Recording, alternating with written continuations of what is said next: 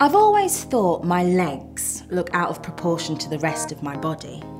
When I was little, I was kind of fat, so I took up biking. And even though I lost the weight, the only part of me that developed any muscle was my legs. So today, even though they look normal to you, my legs feel really big.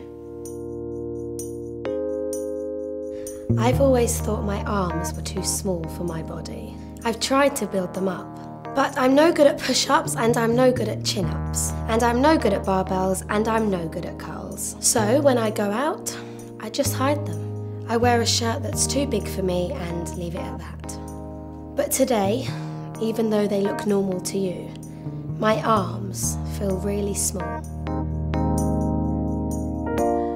I'm starting to get a bit of a tummy.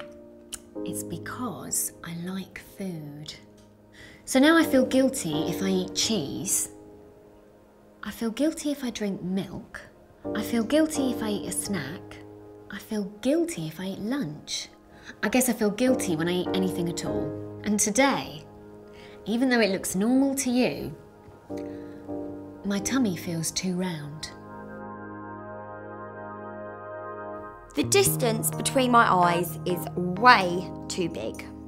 It's because I have a narrow face, or because my ears are too close together. It could be because my nose is too thin, or because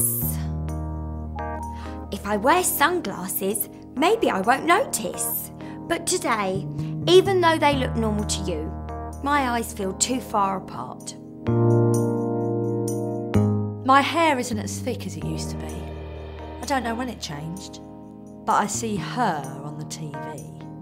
And I know she's got extensions, and I know she's had it dyed, I know she's been in makeup, and I know it's really lies. And today, even though it looks normal to you, my hair feels really thin. I've started to get lines on my forehead and below my eyes. It's better if I don't frown.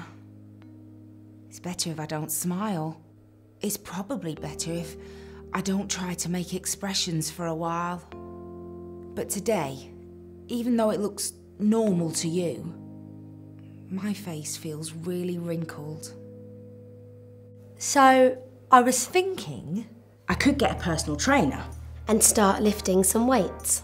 And start a no fat diet. And get a facelift and hair transplants. And have some fillers.